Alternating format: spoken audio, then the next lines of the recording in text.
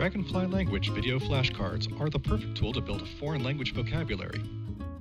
Each volume includes 32 lessons by category, selectable from the main menu. Volume 1 covers the basics, such as letters, numbers, and colors, as well as a variety of fun topics such as sports and fairy tales. Volume 2 goes on to cover more advanced topics like health and travel. Each lesson starts with a word introduction, sounding out each word slowly so the listener can hear the sounds clearly. Une ville. Ville. Une ville. Un immeuble. Immeuble.